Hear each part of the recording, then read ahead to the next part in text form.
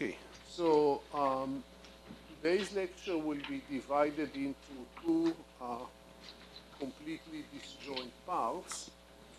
The first part, the first lecture will be uh, with slides, and it will be an attempt to explain the one RSB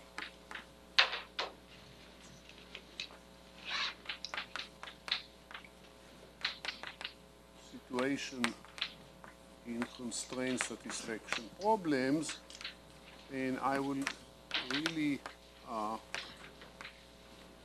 try to outline recent works of uh, Ding, uh, Sly, and Sun, which deal with the prediction for uh, satisfaction satisfaction threshold in KSAT and an independent set. These are results that appeared in uh, the end under mathematical results in uh, lecture one. And this will be done with slides. And the second part, I will talk about coexistence for Ising uh, on tree-like graphs. And this will be what I will explain mostly is the paper from 2011 by Montanari.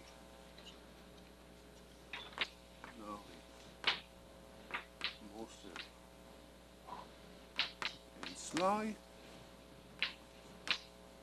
which do the regular case.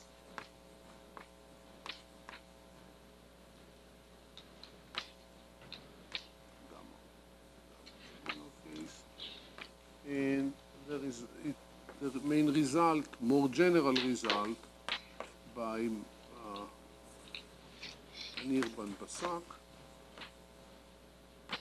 and myself for later, maybe three years later. This will be done by on the blackboard.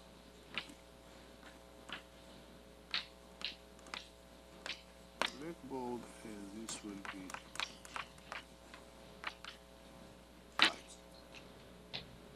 Okay, now um, some uh, word of caution. The first part, this work on the slides, will be this unlike everything else, it's not stuff that I uh, have uh, contributed to. And moreover, I tried to prepare my own slides for it and I got into trouble. And so I borrowed slides of uh, Nike Sun and uh, modified them, and I plan to modify them further uh, before posting them. So there will be a better version of the slides that I will use uh, for posting. But just for this talk, I will use the slides I have. Okay, so first part will be a review of a constraint satisfaction problem. This is the same topic that we mentioned already in the first lecture and then there will be a review of the statistical physics prediction for constraint satisfaction problem.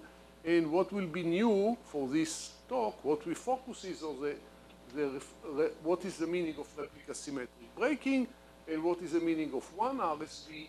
But this will be done in the context of constraint satisfaction problem, that is in the context of zero temperature. So the emphasis, this will be a special case of the more general picture because what we talked about in lecture three when I talked about the limit for Ising and also in lecture uh, was really done in positive temperature with the exponential measure which has an exponential weight. Here, the measure will just be about constraint. It's a problem of constraints. So it will be slightly different and it's slightly easier, which is why the one RSB problem was solved at zero temperature by uh, Ding, Sly, and Sun, but nevertheless, we don't know how to solve it yet at positive in small temperature. You will see why. So this is a repeat of the what constraint satisfaction problem. Again, so what is a constraint satisfaction problem? It's a set of variables subject to constraints. The variables are our, ver our vertices in the graph, and the constraints are going to be the edges. we mentioned two problems uh, in the first lecture, coloring. Uh, each vertex color is a variable. Each edge imposes a constraint that it cannot be monochromatic. So this is an example, just written in small, that I have in the first uh, lecture, of a proper coloring problem. We called it Q coloring because Q was the number of, uh, of colors. Here Q is probably uh, one, two, three, four, four, five. Five, uh, four, four. Yellow, um, green, blue, and red. And you can see that this graph is properly colored. There is no edge. There is no edge that has both sides, uh, both sides colored. We mentioned another problem, independent set. Independent set, you try to put as many, ideally as many as, as possible vertices to be occupied by, while still not making any two vertices which are occupied connected with an edge. So this is an example of the mark of an independent set. You see that every place, every time a, a, an occupied vertex is connected to something, this something is unoccupied, but you see you can put two of them to be unoccupied, that is fine. And this is a, a maximal independent set. This is a, a maximally independent, maybe there is a better, but this is a, a maximal independent set in the sense that if you try to add any one of the if you try to occupy any one of the, of the empty ones, you, you will fail uh, the constraint. There will be an edge with two sides occupied. So in general, computer science problem, given a constraint satisfaction problem, try to decide if there exists any variable assignment that satisfies all the constraints. And the, the interest is in finite graphs, but of very large size, growing. So it will be difficult. You can, of course, always try by just trying all possibilities, but this will take you an exponential number of steps. And all these problems are known to be hard in the sense that, uh, that the worst case we will take exponential number of steps if p is not equal to np, which is believed to be. So let's focus on, on a particular problem, which is a K-SAT problem model, and what is this threshold conjecture? what is this uh, conjecture about alpha sat? What does this mean? Let's see what. So the K-SAT problem is specified, that we did it also in the last, uh, in the first lecture, but uh, this is done here in more detail.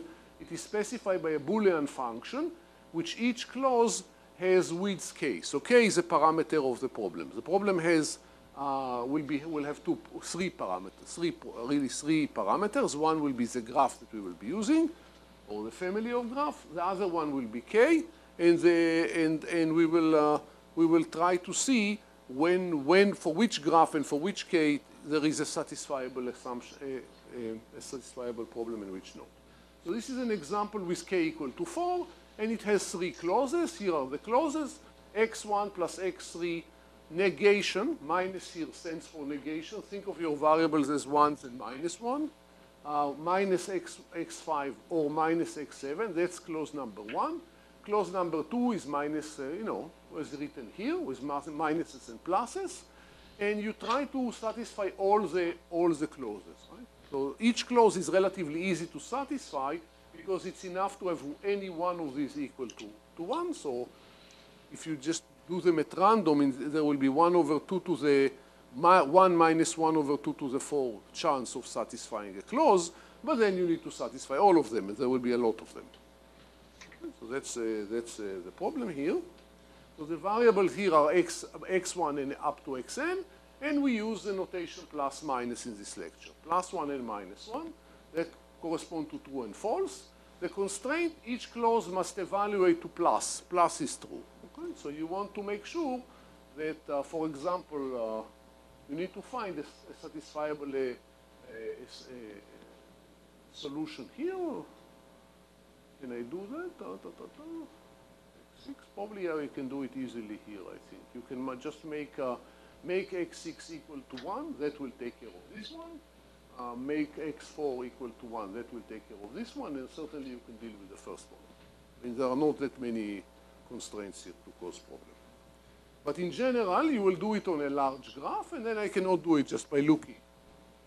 Large graph and a lot of vertices. So the SAT problem is to decide if satisfying assignment in plus minus n uh, exists. Right? You, and this is a canonical uh, example of what of uh, of NP, NP complete. We mentioned this in the first uh, lecture. Uh, this is due to the work of and Levin, so on the 70s. So worst case uh, complexity presumed to be very difficult. Okay, so the, both uh, both coloring and independent set can be described as a graph, and the same will be also true about the SAT problem.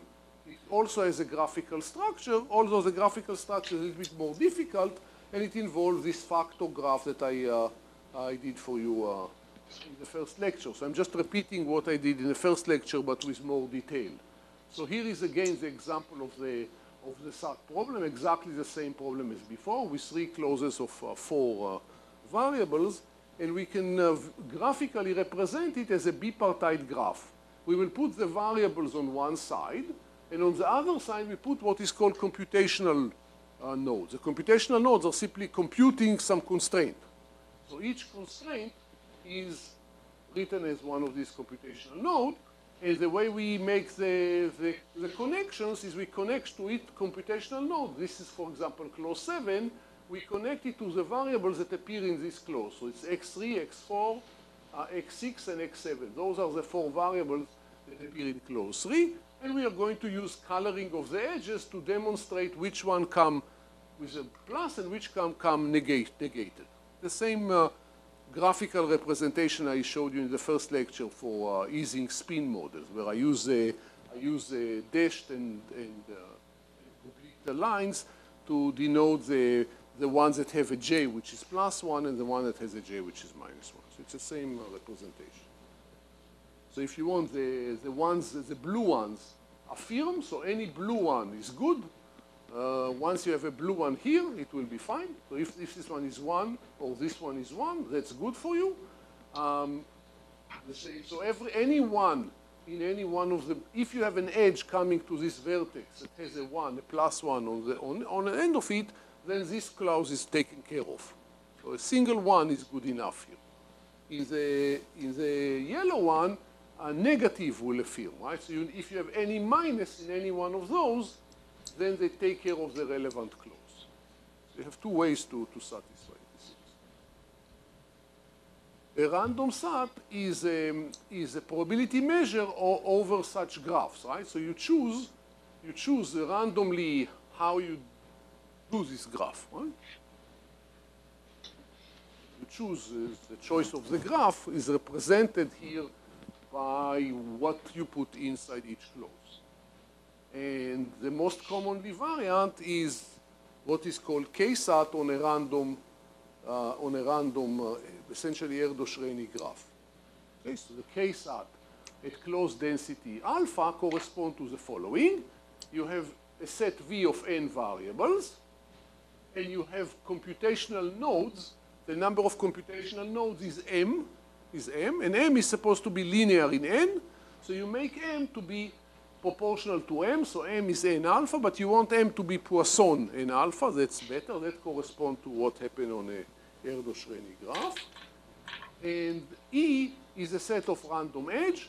Each clause has degree k, so each of these computational vertices has exactly k. In this uh, particular picture, k is equal to 3. Uh, you can see it in, here at the end. 3 and 3 and if the graph was done correctly, it's, it's 3 everywhere.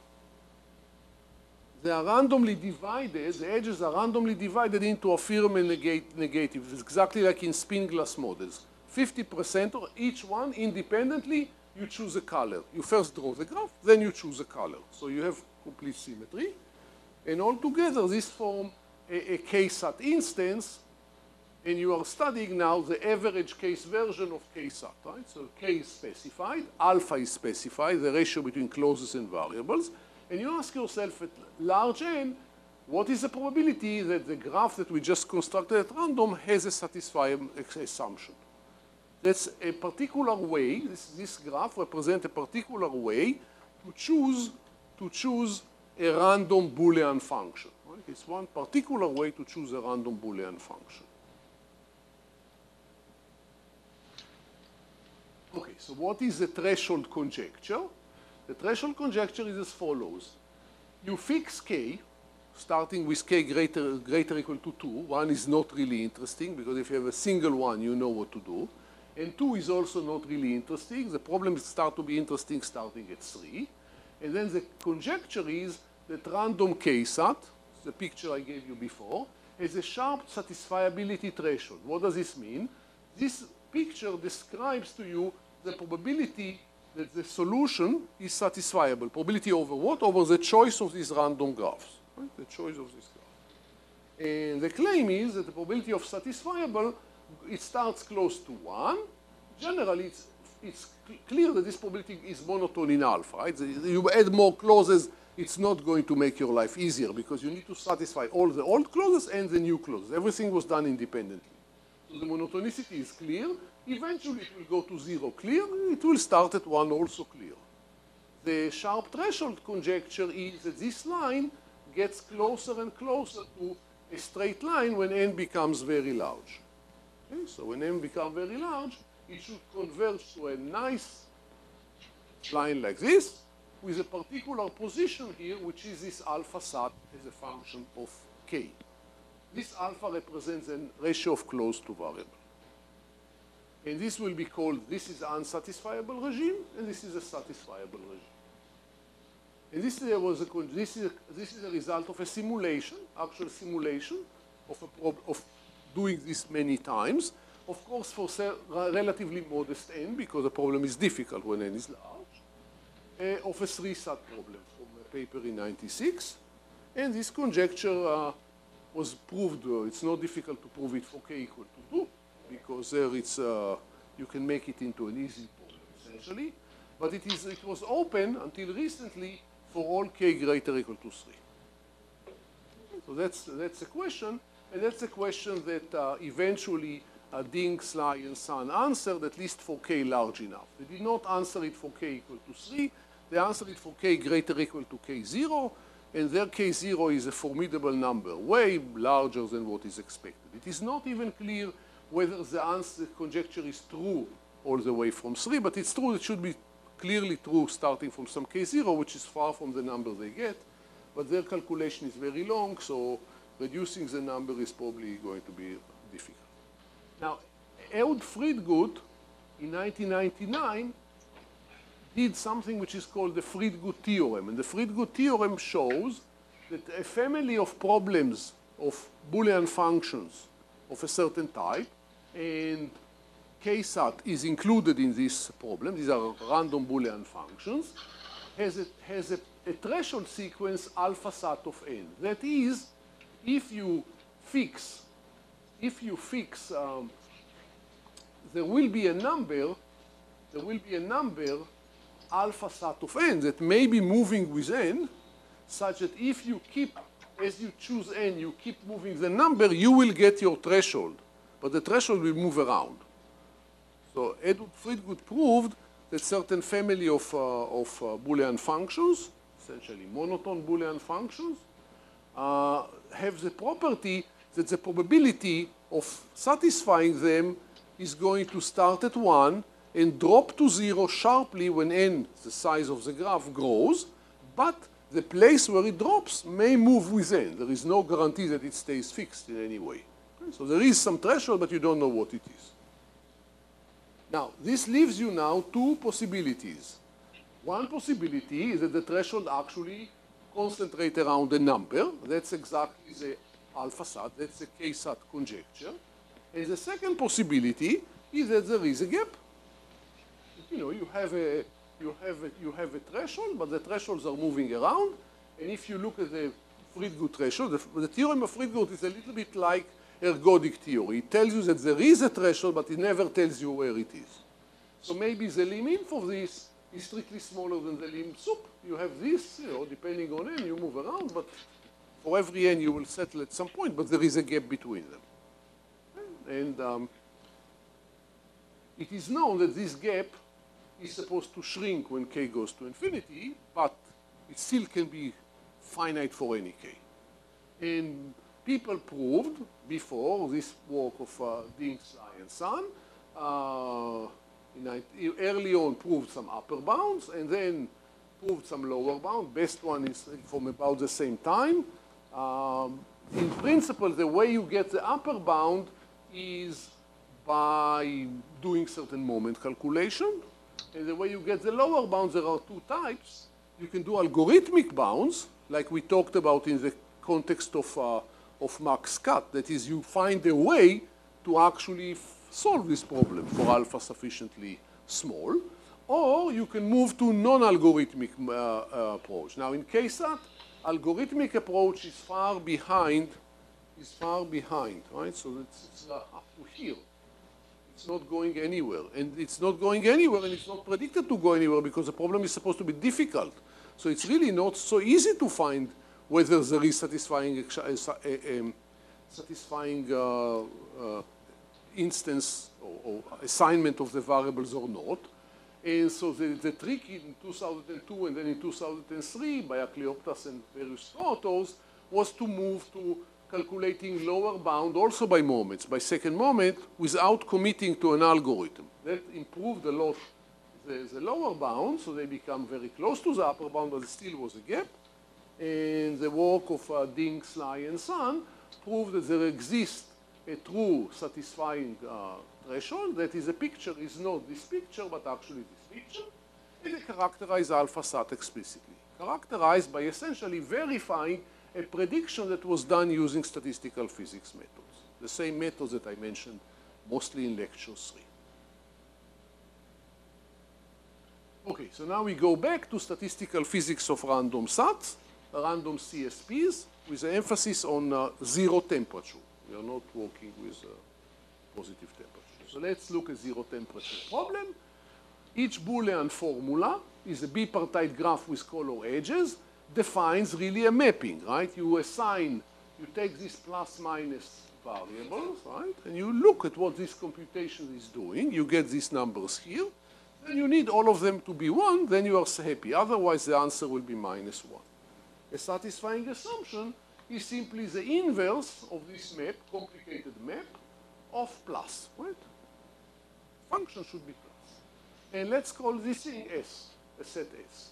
So in random, in random SAT, the graph G is random, and so S is a random subset of plus minus 1 to the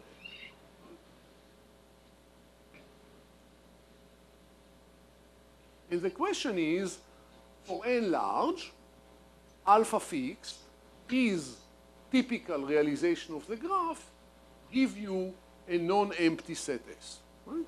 If the set S is non-empty, you have a solution. If the set S is empty, you don't have a solution.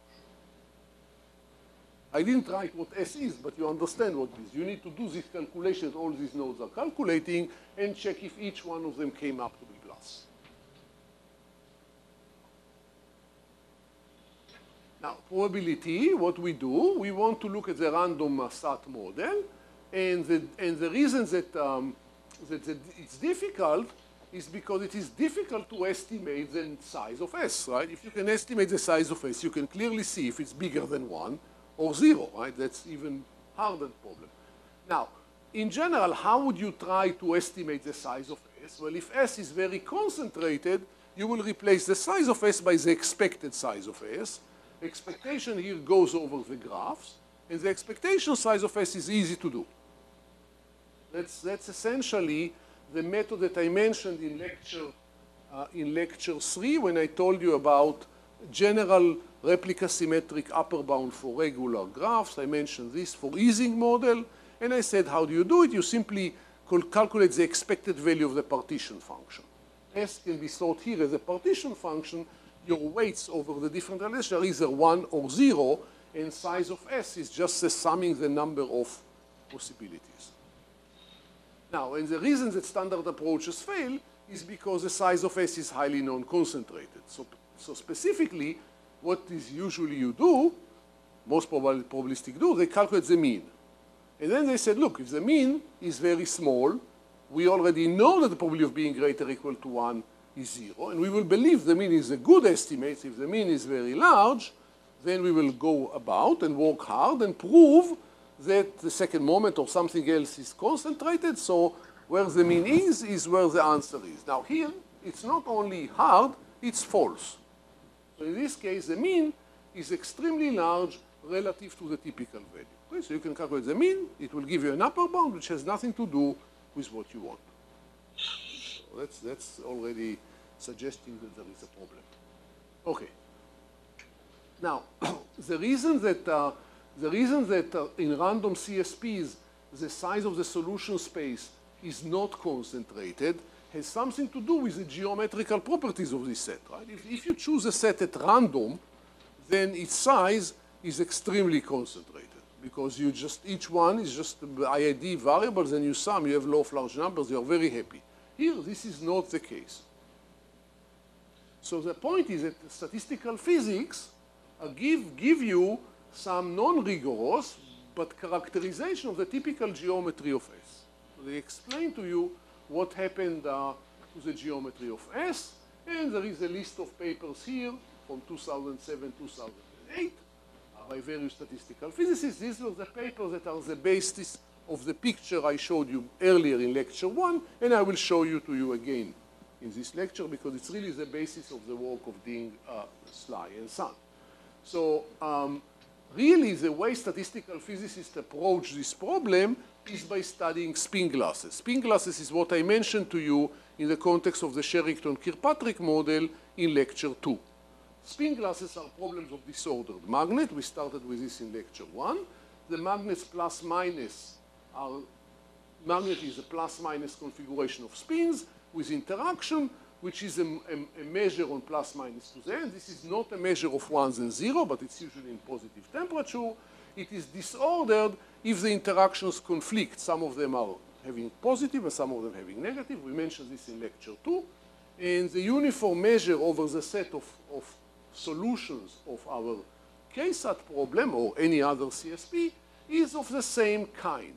It's not physics problem, but it can be thought of as physics problem because you have constraints and the constraints conflict. These problems are harder, the ones we talk about, are harder than problems like the problem of Ising, which are in Potts, which I mentioned in lecture two, in lecture four, because Ising and Potts the constraints do not conflict. Everybody likes to be the same. Great. So you know how to solve the zero temperature.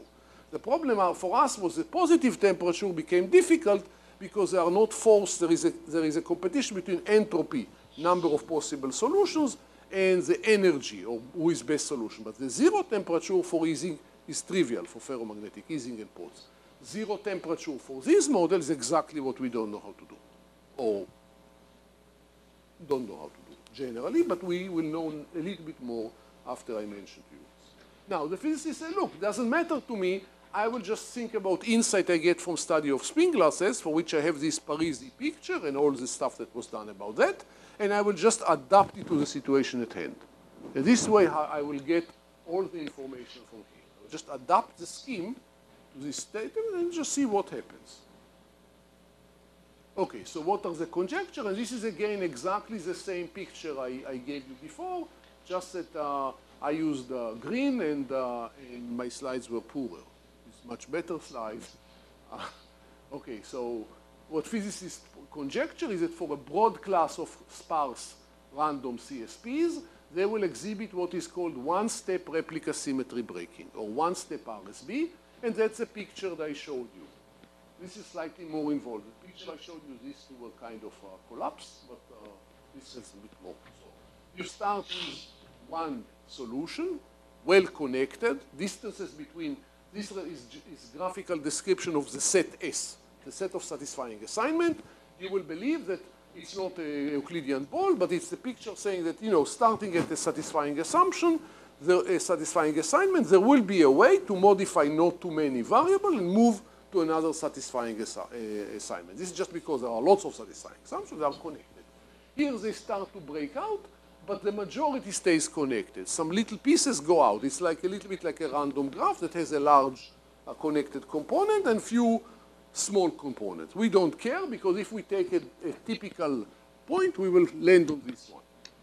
As we increase alpha, I, in the beginning I made this into one. As we increase alpha, we come to a point where suddenly the big blob shattered into exponentially many blobs, maybe of different size or maybe of the same size, we don't know, but exponentially many blobs, and the distances between them start to be linear. Now you need, in order to move from one cluster to another, you need to make a global change. You need to really forget about your solution or change half of it or some fraction. As you continue, the problem gets even harder, and you can no longer sustain exponentially many clusters. You now have one cluster essentially taking, let's say, half of the problem, and another cluster taking one-fourth, and so on, and there are maybe finitely many clusters, and you are done. And then, of course, at some point, you come to a point that interests you, and there is no more of a solution. If you try to understand the satisfying uh, assumption, you're working on this boundary, right? You're working here. So for you, interesting to know how it behaves around here, right? You don't really care what happens here. You may not even know what happens here. I mean, this is really easy, but you may not understand what happens here. It's not crucial. What is crucial to you is understand what happens around here. Okay, so in, uh, for such model, uh, a precise structure of the typical structure of the solution space for alpha in the regime preceding alpha sat is what comes from statistical physics. And you can use it and try to use it to construct a proof. Because you want to construct a proof. On the basis of this conjecture, one can derive an explicit prediction, alpha sat equal alpha 1 RSB, the 1 RSB threshold formula. And this was done by uh, Mezard Parisi Zecchina in 2002 and by Mertens Mezard Zecchina in 2006. So this was already in existence, this prediction for more than a decade ago. Now the problem is to prove it. Or that's what interests us here, to prove this prediction. Okay, so what do you do? How do you find bounds on alpha sat? As I mentioned, the bounds on alpha sat are done by the moment method. You just take the number of solutions you calculate moments. Why do you like to calculate moments? Because when you calculate moments, you can put the you can do the put the randomness on the on the graph in any way you want, and since lots of things are independent here, it's going to give you a nice formula. You can do the first moment, second moment directly. It's very easy calculation, but they are not good, as I mentioned, because they are not going to give you the right prediction. So what people did is they made increasingly sophisticated moment calculations where they do truncation or conditioning to deal with the fact that the typical value is not equal to the mean. So, so they said, oh, we will not calculate the mean, but we'll calculate the mean together with some indicator, and that will be closer to the typical value. And there are papers starting in 96, and there is a long history for upper bound and for lower bound. Now, the physics explains the source of the non-concentration, it strongly suggests that, the, that, but it also strongly suggests that moment method on the number of, of solutions cannot really detect alpha sat. I mean, how many you, you truncate it, it will not help you. The one RSB hypothesis, however, indicates a better pass to the threshold. Because the one RSB is telling you that if you go to the level of, of to the level of uh, uh, first of all, the formula is not very short. I will do it, I will show you the formula in the last slide. It's not, it takes a slide, the formula. It doesn't take a line, right? But, but the point is, what one RSB tells you is that if you go to the level of the clusters, you get a replica symmetric solution. And the replica symmetric solution, we have an insight. This is what we did in lecture three. So if you understand what clusters mean, then you are in good shape. Now, that's exactly where zero temperature comes very handy, because in zero temperature, every realization is either good or bad. If you go to positive but small temperature, suddenly, what? Everything has a weight. And it's much harder to break into clusters. So the notion what is a cluster or where do you find this replica symmetric object is suddenly much more vague. And that's why the success so far has been with one RSB has been always at zero temperature, not a small positive. Okay, so this is a summary of the results of uh, mostly Ding, Sly, and Sun, and most, more recently, just this year, came another work of, uh, of uh, uh Sly and Sun with uh, Yumeng Zhang. And the principle, they say the following, take a very large absolute constant k0. In each problem they have another number. The numbers have nothing to do with the predicted numbers, right? So just make k very large, and then they prove that you have satisfiability threshold uh, for various problems, right? So the first problem, let's forget what the k not all equal sat is, although this is a problem which is the easiest to explain.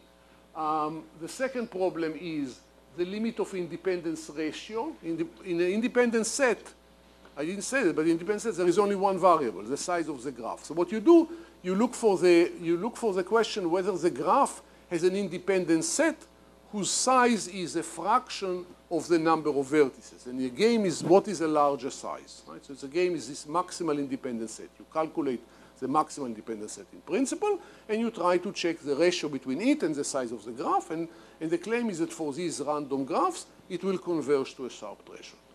Now, the problems, are, the problems of, uh, of not all equal sat and the uh, random, uh, in, um, the independent set, they were done on what is called k-regular graph, what you mentioned, d-regular, random d-regular graph. Regular graphs do not have independence, but they have another property which is very nice, that when you look at the graph limits, which I mentioned in lecture one and lecture three, the graph limit is a regular tree. So anywhere you are, locally around you, it all looks the same. And this simplifies a lot of calculations. In the KSAT, this is no, no longer going to work in any case because you have all these random signs that you put there. So even if you take a regular graph, the KSAT problem becomes much more messier because of the random sign. And then you instead go to the Erdos-Renyi version, which is the one I mentioned to you with the Poisson, where you gain a lot of independence. You know, the, the, the, regularity is lost anyway, so let's uh, take our next best friend, which is the independence. And um, in the last paper of um, uh, Sun, and, and, and uh, Zhang, it's a first work where you can not, not only get information on the threshold between 1 and 0, between size of S greater or equal to 1 and 0, but you also get an estimate on the typical size of the cluster. And again, this worked back to the earlier paper, which is the easiest version. So these three versions, the most interesting to computer scientists is actually the KSAT, but the technically easiest is the K not all equal SAT with the, with the regular graph. So the as far as the number of solutions is concerned, we are now back to the beginning, and I guess that in principle they should now try to go to here. And other people should also add to the game, and maybe also try to deal with positive temperature, and also, what is even more important, try to find a proof that doesn't take 100 pages of calculation. Because the current proofs are very long and complicated. And again, in each case, they provide an explicit formula because it matches the one RSB prediction, which can be written. It's not, uh, as I said, it's written on a slide, not on a line, but it can be written. And as I mentioned, the main difficulty in the last version, in the KSAT, is a non-regular local profile fluctuations, which worsens the non-concentration of the number. No, the non-concentration in the size come first from the 1 RSB. The 1 RSB tells you, as I mentioned to you, that if you do this Bethe messages approach, the prediction is that the messages are not, this, are not deterministic, they are random. So different places you will find locally a different measure. This is already a problem. But in the case of uh, KSAT, also the tree is random. So not only is the input from the boundary random, but also what you see between the boundary and you is random. And the reason that, and this has to do already because of the random sign. So even if you were making the graph regular, your life will not be better. So that's why they, they moved to the, to the,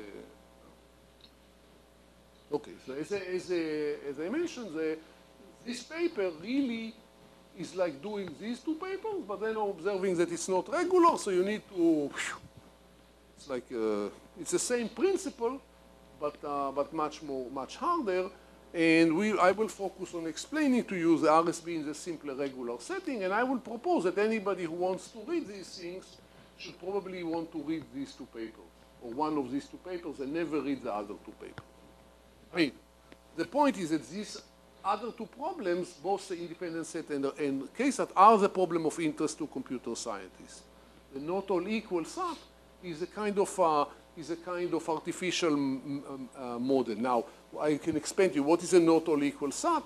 The, the SAT problem has a, a, a, a, a non-symmetry because every plus, if you have in the OR, in the OR, uh, any one uh, can do the job, but all, ze so all zeros is bad. If you do an OR, a logical OR, the configuration, forget the negation. If you write X or Y or Z, this will be equal to plus unless you see the configuration minus minus minus, right? In a not all equal, not all equal of x, y, and z, you will get plus unless minus minus minus or plus plus plus.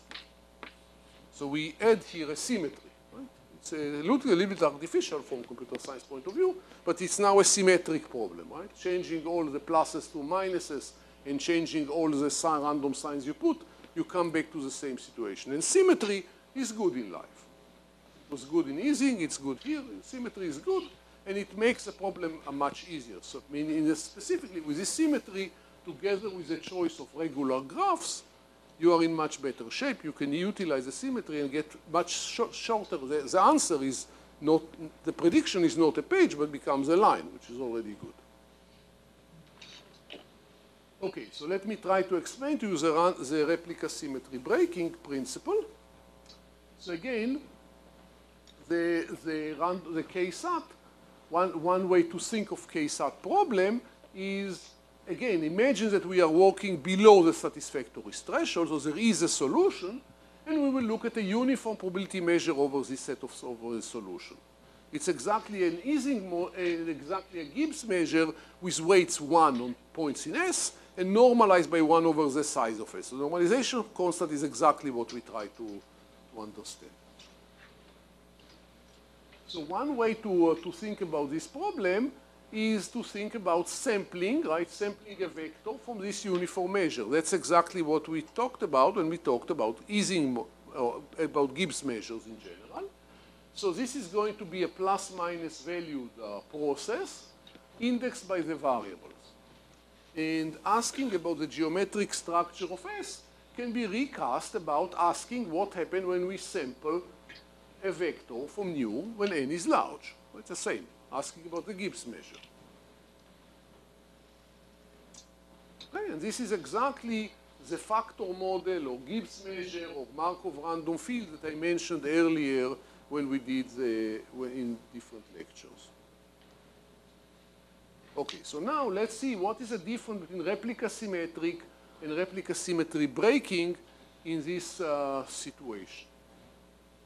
So replica symmetric, I remind you, meant that when we do the, the replica symmetry Bethe prediction, we used for the boundary of each point in the graph, for a neighborhood of each point, we used independent product for the boundary measure, which is to say saying that part, far away points are supposed to be uncorrelated. So we say that nu is replica symmetric if faraway variables are nearly independent. In particular, if you choose two samples from this replica, right, if you choose two long vectors from this solution, and you calculate the overlap, which is the inner product, then this will be well concentrated because it's a sum of plus and minus variables, right? And, and the variables from i and j, which are far away, are going to be nearly independent. So the law of large number will apply, and you will get this number to concentrate.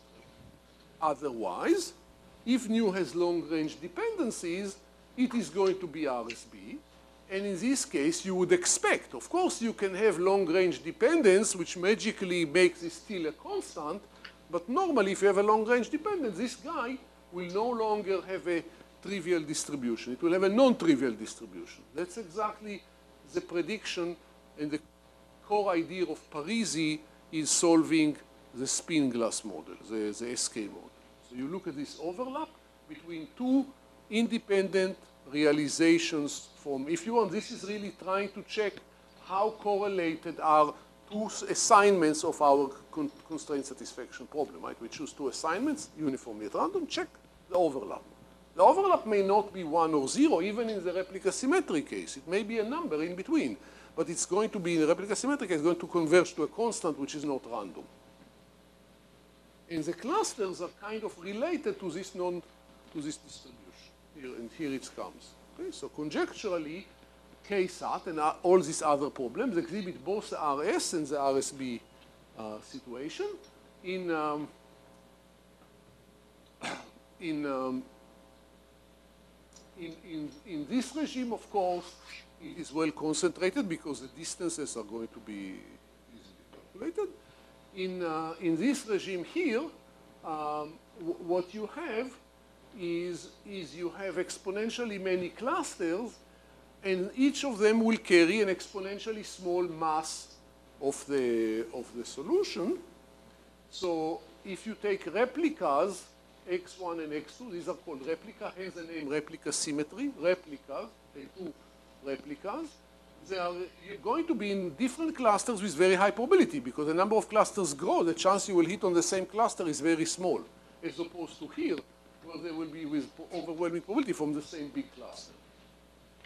Okay, so if they are in different clusters, um, they are going to be uh, dearly orthogonal if the clusters are far apart, and the overlap will be with high probability near zero. And that's going to be clearly uh, the replica symmetric regime. What happens when you move closer to, remember, we are interested in this place. We are not interested in this place or other places. Now, even what I wrote here, what is not really rigorously done. But this is a prediction. What happened near alpha S in this box, just before alpha S, almost all the mass is in bounded number of clusters, right? There are not a large number of clusters. So replicas are either in different clusters with very small overlap or in the same cluster of large overlap, right? So both events occur with non-negligible probability, so the overlap distribution is now non-trivial. It has at least two different values that can occur with probability does not go to zero. It's a non-degenerate random variable. This is the definition of an RSB regime. Now, statistical physics people, uh, predictions give much more. They give the mass distribution of this, and they give prediction to this probability, prediction to everything, but the basic qualitative picture is what is described here. Okay, so let's try to understand why one would expect even the solution space to have clustering. You know, you can ask, where is this coming from? Why would you have clusters? The idea is this. The random SAT graph is sparse. Each variable participates only in bounded number of clauses, because if it will become dense, the probability will just drop to zero, and we will not have satisfying uh, solution. Each clause has some freedom right? It has, uh, you know, there are two to, as I said, I mentioned two to the k different possible assignment. Most of them will work. Only few will not work. So a typical X in S um, has quite a few free variables. There are quite a few variables that participate maybe only in one clause or two clauses, and you are free to choose them and move them, and it's still going to be a solution. So by sparsity, you can extract a smaller number of free variables, we share no clause. Each one of them appear in a different clause. They have not been determined by the whole problem, and they also do not interact.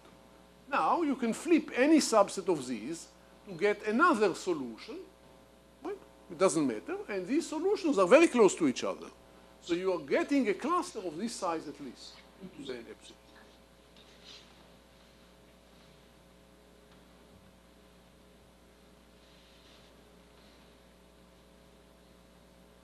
Now, for alpha large, where you are close to this place, there are not enough free variables to connect S. I mean, you can do this thing, but at some point you will, you will come to a place where, you know, this is like making a move of size 1 from a solution.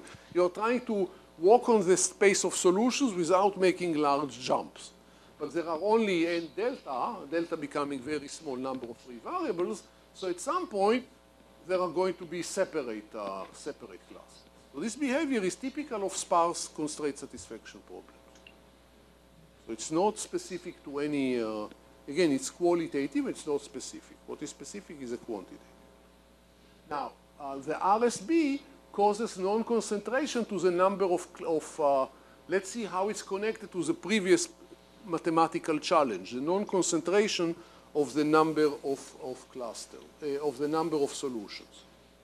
At the onset of, of one RSB, or RSB, the onset the expected number of solutions become dominated by the rare event of S having atypically large clusters. If you have a large cluster in S, then, you know, if you have, will give you a large, a, a huge contribution to the expected value, but its probability can be small. Just the, con the contribution to the, to the, expected value can grow like 2 to the number of free variables. So it's growing exponentially, and probabilities which go down to zero sub-exponentially are not going to be able to fight it uh, effectively. So in the typical picture, such large clusters do not occur, and therefore the expected value is going to be much larger, and there is going to be an interval of alpha where the expected value is much larger, even though typically the set is empty. So you are going to predict your, uh, your answer completely wrong, as I mentioned. So this effect was already noted in the, in the literature, and the key contribution from the physics heuristic is a precise characterization of the clusters. Right? Now you have this motion notion of a clusters, and you also know that if you successfully move to a model with clusters, you will you will get, uh, you will get as a result, you can apply then the, the replica symmetric solution. So if you can go to the clusters, you can employ methods similar to the methods that I mentioned to you in lecture three. You know for replica symmetric what, what should be done. Okay, so what is a one, one, one step RSB? So one step RSB is a statement that once you go to the clusters, you are done with all the problem.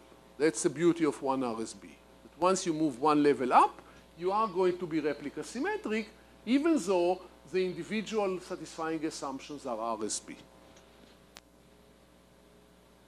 Okay, so implicit in, uh, in, in this picture is that the clusters themselves can be encoded by a graphical model which is rewriting nu, right? So what you do, you define omega as a set of k solution clusters which you can think of it as a set of connected components of S.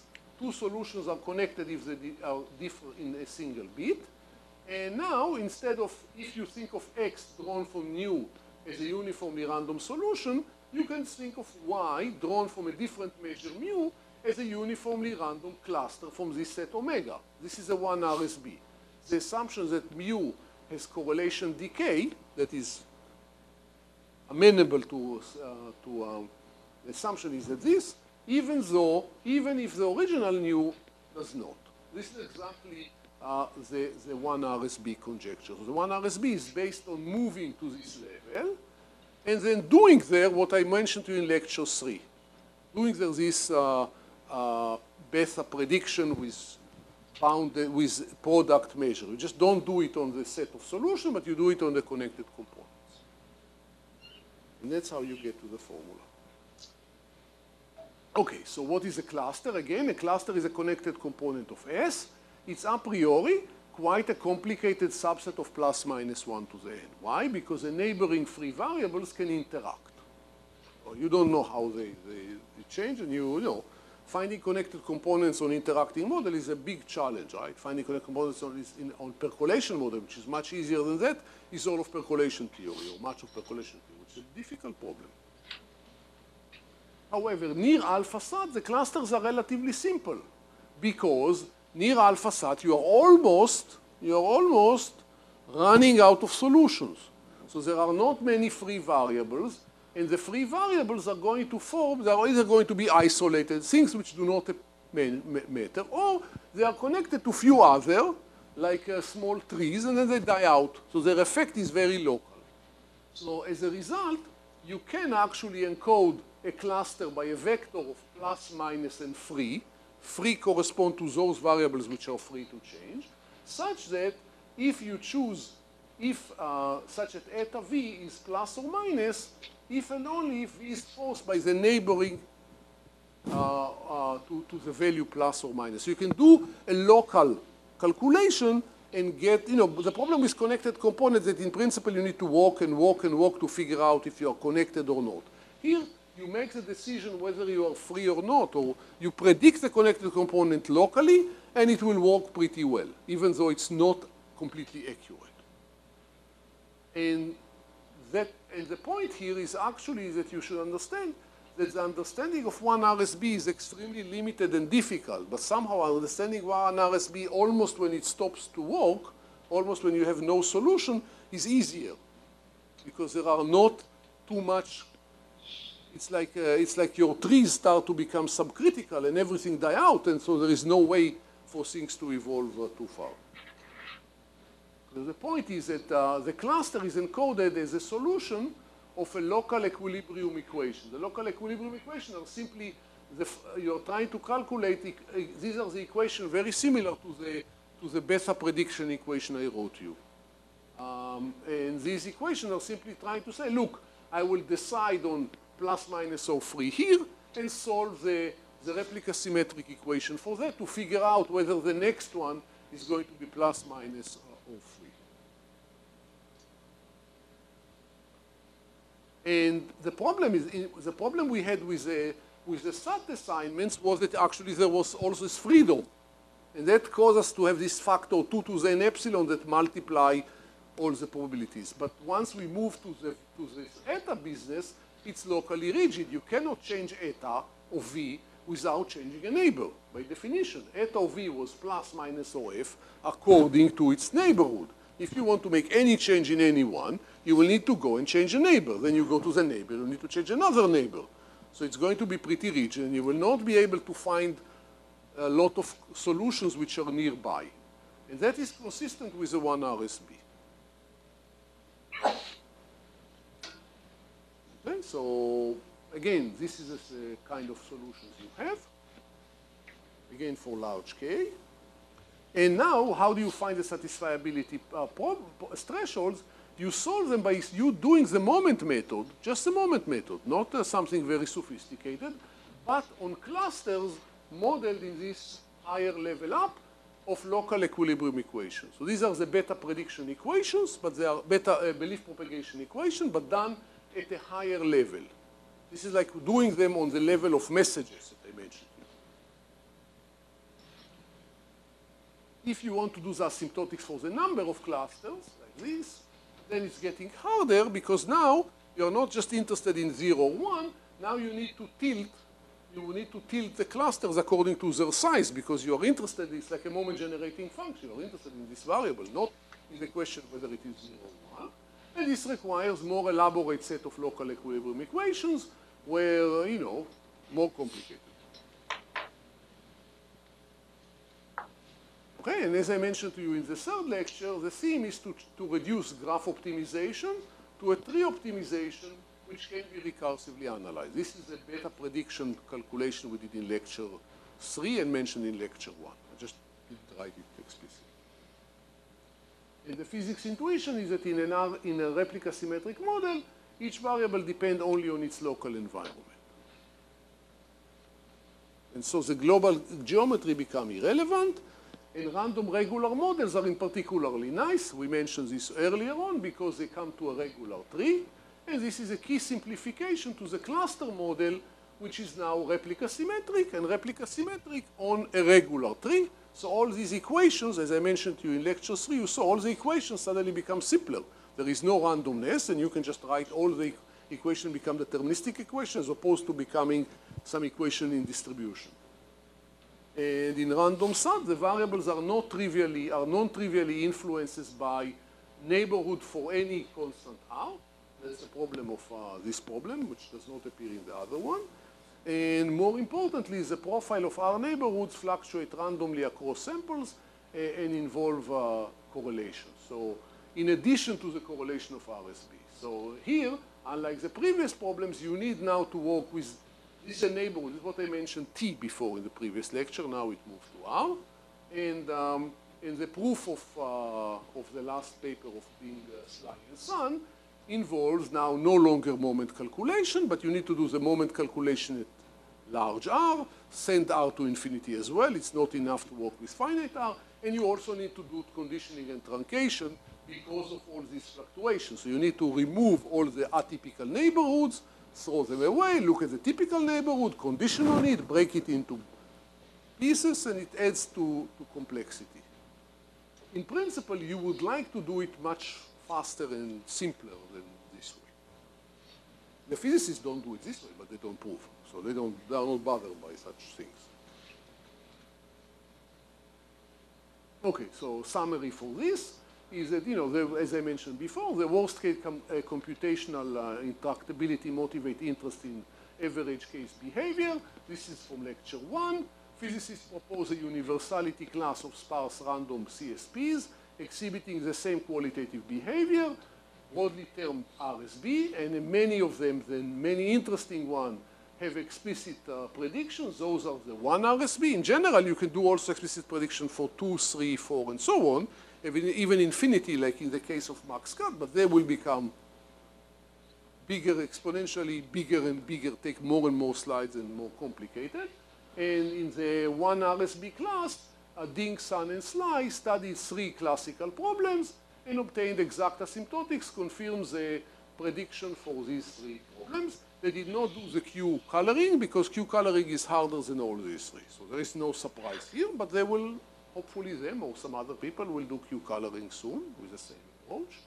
The method of proof, analysis of the clusters, gives some rigorous backing to the one RSB hypothesis that the clusters are, are replica symmetric, but much remains to be uh, un, un, understood because essentially everything I did not say is not known. I summarized to you the knowledge Right? So I mean, the knowledge is not big in the sense that there is no understanding what happened at positive and low temperature.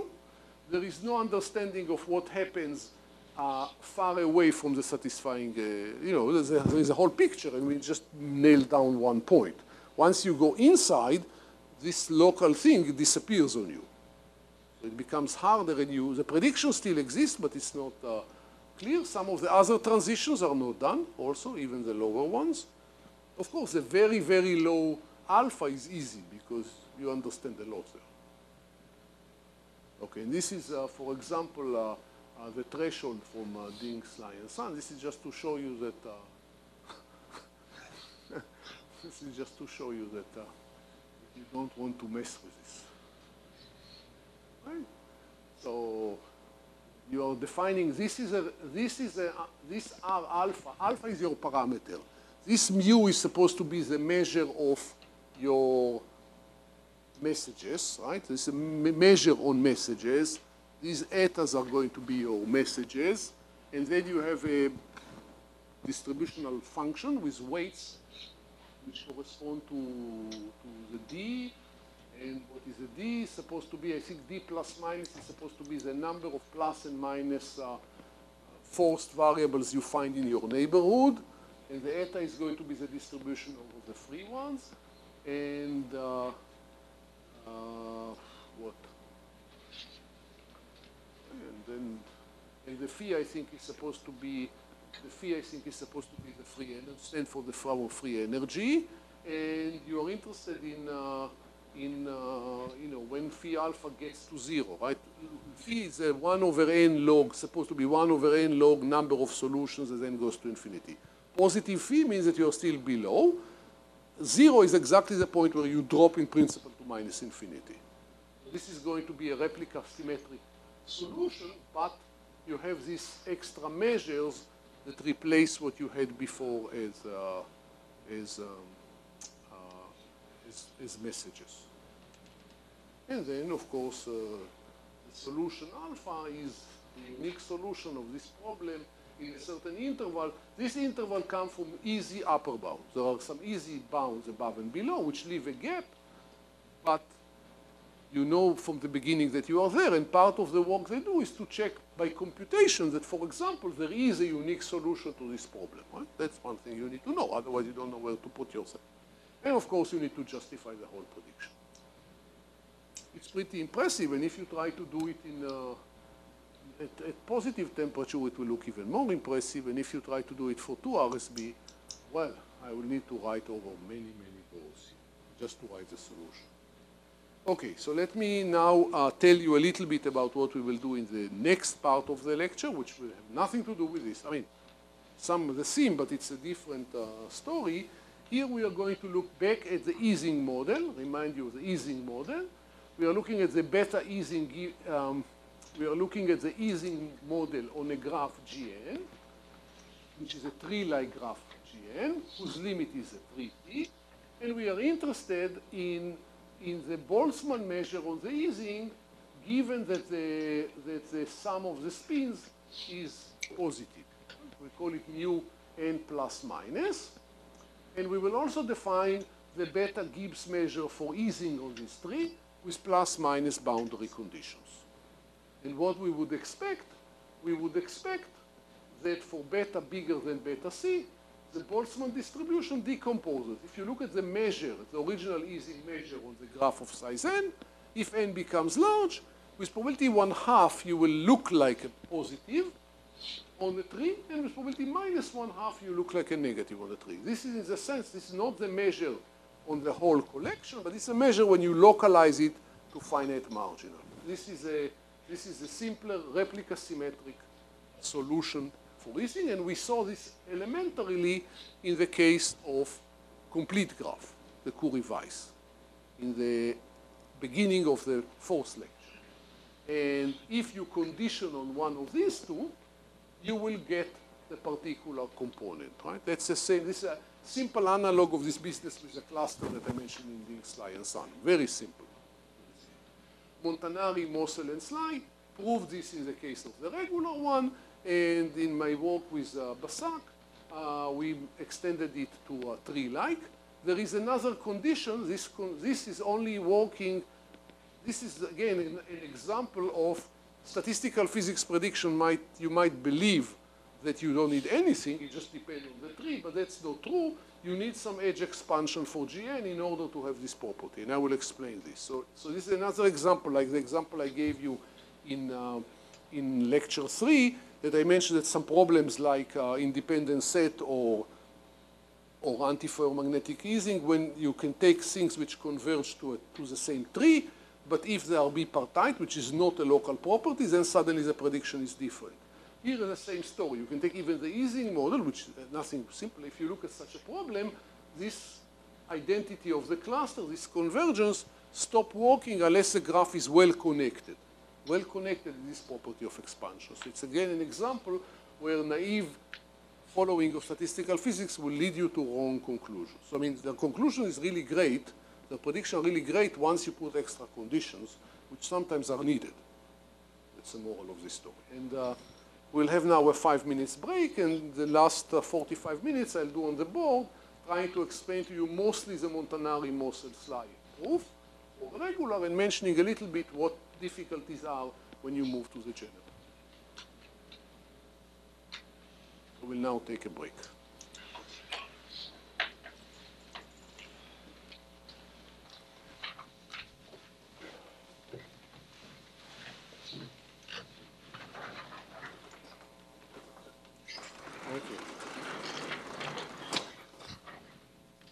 So what this part of the lecture will share with the previous part of the lecture is the fact that we are working on, uh, on uh, this is not what it is sharing. We are not going to work again on ferromagnetic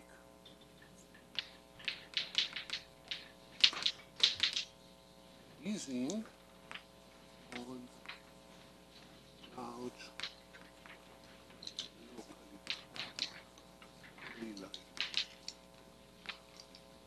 as I mentioned before, uh, the constraint satisfaction problem are locally tree-like graphs. They are much more specific graphs. And we will have a Gn, which is Vn En. Vn is going to be of size n. And we will put on it our favorite Ising model, which is as I mentioned in lecture three, much easier than any other model of statistical physics that I think of, which is why it is best to start with that one.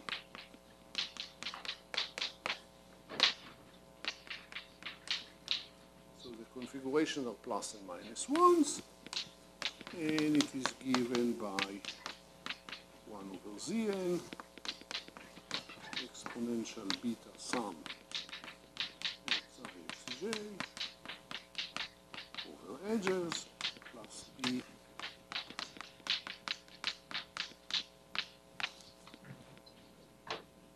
and always we will work with beta positive and most of the time but not always with b equal to 0.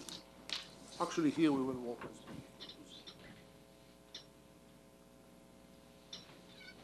And in this case, I remind you our phase diagram. The phase diagram is the one we borrowed from the treatment of the of the Curie Weiss. It's the same phase diagram. The complicated, there is some beta C. Something interesting and complicated happens here. And the line beta equals 0 and B equal to BC. And if either beta is B is positive or B is negative, things are not so exciting. In this place, nu n should converge to nu plus, and in this case, nu n should converge to nu minus. And what we want to prove, the goal, is to study local limits n as n when gn converges locally to some random tree and beta bigger than beta c.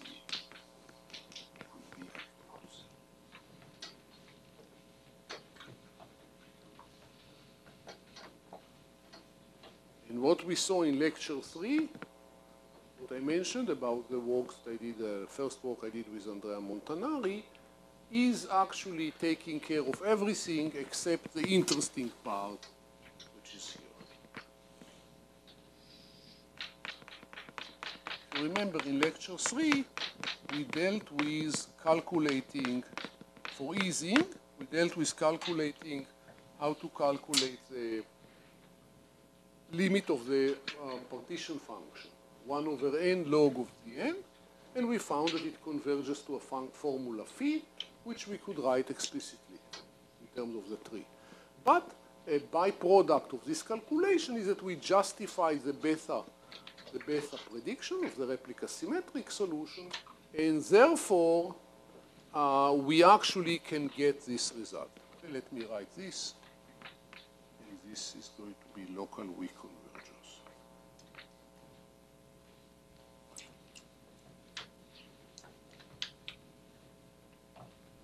And the claim is, the claim that we would like to prove, is that here mu n will converge to 1 half mu t plus plus 1 half mu t minus.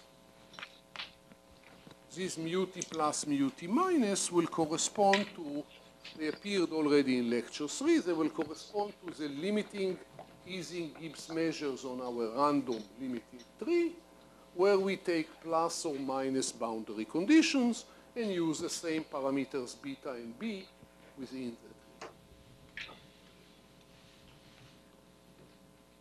So this area which is not red follows from my work with Andrea. And really, okay, it follows from all any paper which proves which prove the convergence of the there were these papers that prove that 1 over n log Zn, which we call phi n, converge to phi beta. And whenever this was done, the way it was done, a byproduct was the local weak convergence of the measure on the marginal, because it was done by justifying essentially the Bethe prediction. So there was the first paper I wrote with them. First it was done for regular uh, by Franz and Leone, I think. And then with Andrea Montanari, we did it in for uh, more general trees, which converge to Galton-Watsons. And then Dommers et al. proved it to even more general. And then in this paper with um, Montanari and, and Sun in, from 2014, we proved it for all possible limits and therefore stopped this, this industry from progressing because there was nothing more to do. And, but this also implies this, but if you remember, the way that this approach goes is we said first let's perturb the model by adding a small b, and we rely on the fact that this phi n and also the phi are going to be continuous in B, and we will solve it when B is non-zero and declare that the answer at B equal to zero is the limit. So we never really studied these models, because this is exactly the place where things are starting to get more exciting because you don't have a local weak limit, which is a single point. Let me now uh, repeat for you the definition of what this convergence means just reminding you, BIT is going to be the ball of radius T centered at I, which is in N, IN is a uniformly chosen, uh, uniformly chosen point. Again, and we have a definition.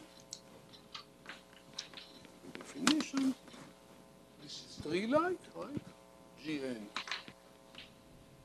Gn converge locally to a certain tree T, which is random, if or, or Alternatively, I can write Gn locally weak converge to a measure mu, probability measure on trees. Right? So I can, it's like same as, as uh, convergence in distribution. You can write it in the language of random variables, or you can write it in language of uh, probability measures.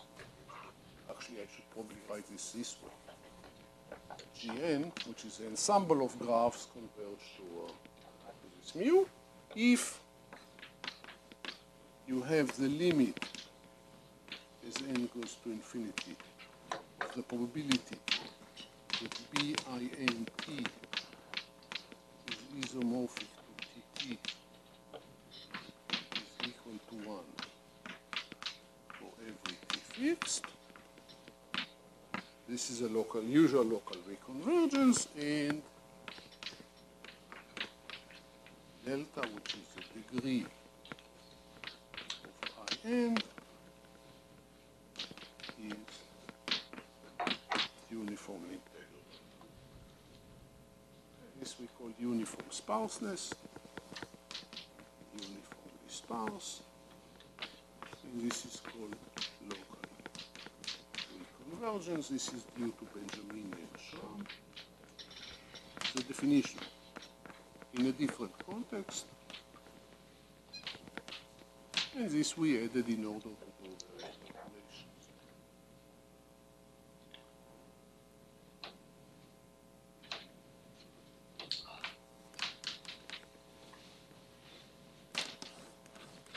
And we have two, two examples, classical canonical examples.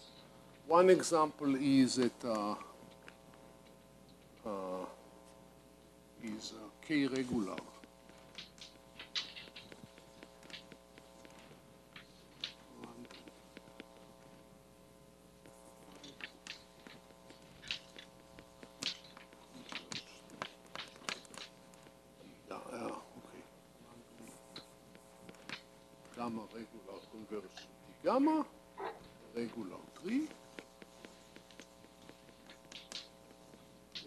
Mentioned, this is a very nice case because here the measure mu is becoming degenerate. Right? There is only one possible regular tree, which is the regular tree. You cannot have different trees.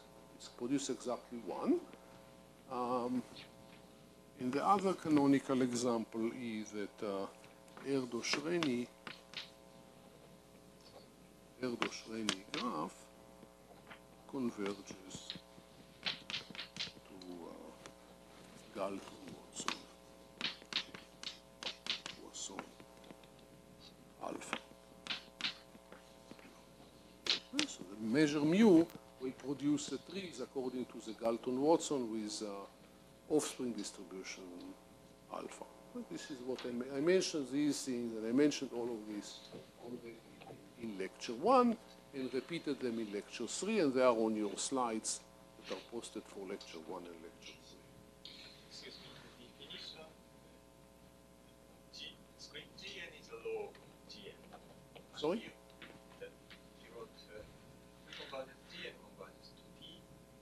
Ah, I said that this is, a s I can say that the sequence of graphs converge weakly to a tree and use a random variable, or I can think of an ensemble of graphs converging law weakly to a measure on tree.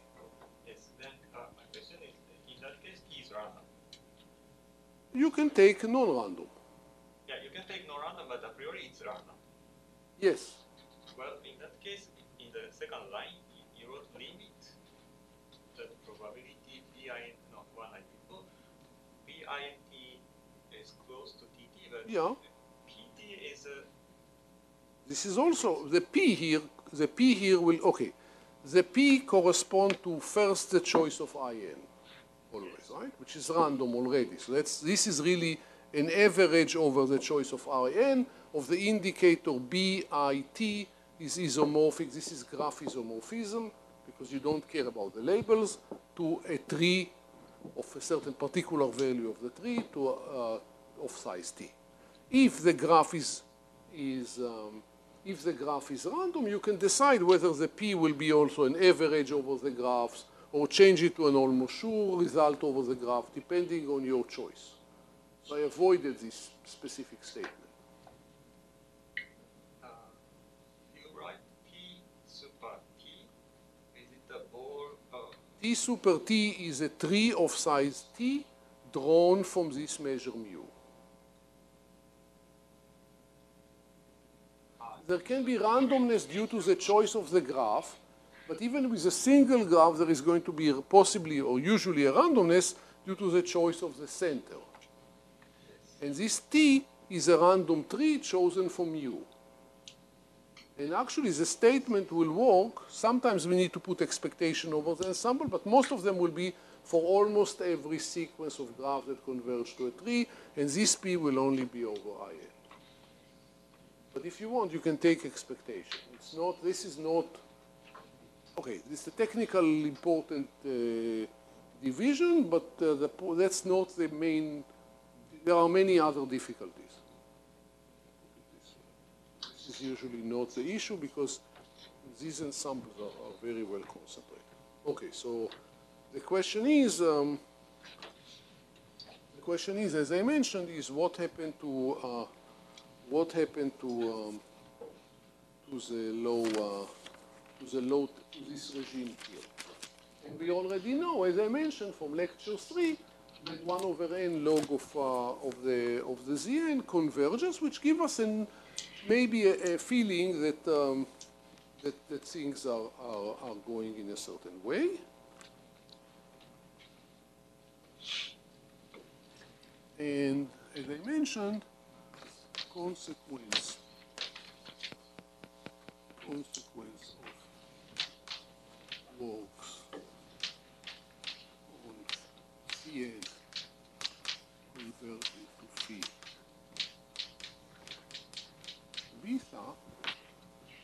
um, is that when b is positive mu n will converge locally to uh, plus. This is really new t plus. I should.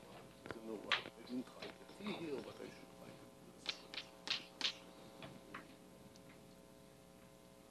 t minus, and when p is negative, we have here complete symmetry. Remember that the key to the proof of this convergence was to show that you can, using FKG, you can bound above and below by free and plus in this case, or free and, and minus in this case, and you show that both of them went to the same limit when the distance from the place where you are went to infinity, and you, because of the local weak convergence applying for every t, you can first take n to infinity and then take t to infinity. This is very similar to what I mentioned in the first part of the lecture about Ding, Sly, and Sun doing the second moment and then sending neighborhood size to infinity, except here it's much easier because it's easy. Okay, so Montanari, Mossel, and Sly. Uh, 2012 actually, because the paper was written, as usual in mathematics paper, it was written in year X and then published in year Y, so it always depends if this is the year it was published, and the year it was written probably was the year before. This was published in PTRF, and they proved that as in the Curie-Weiss model, that uh, also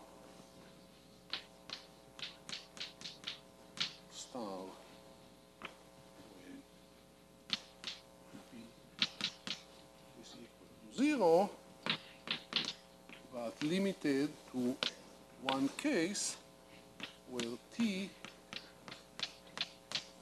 is t gamma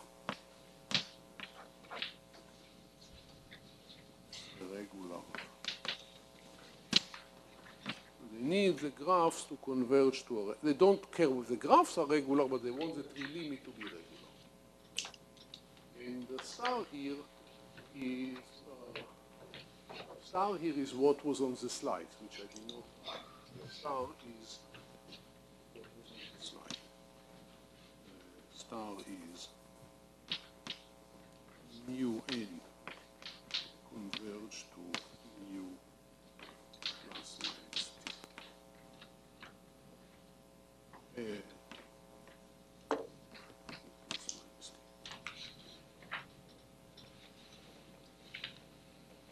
Uh, sorry, converge to one half, right? It's not.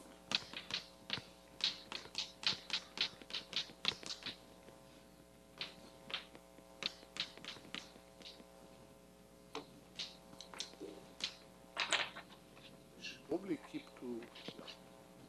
If I write any time k regular, you should just mentally change it to gamma regular. These notes were written with k, and the slides were written in gamma.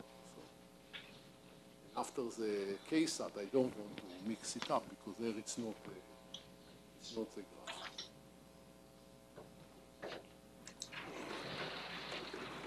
Okay, now the beta c in a k regular case it can be writ- written easily. That's one of the nice things. You actually know where you are exactly. So this is theorem